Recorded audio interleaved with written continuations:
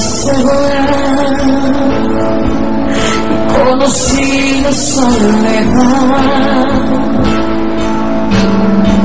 Confié el sin entregar, sin esperar.